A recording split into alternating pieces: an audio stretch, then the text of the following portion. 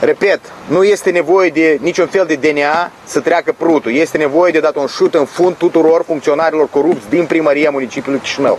În frunte cu uh, piatra sub forma României Mari, Dorin Chertoacă. Să fie clar pentru toată lumea. Deci atâta timp cât îl mai tolerăm, atâta timp în primăria municipiului Chișinău va fi un dezastru.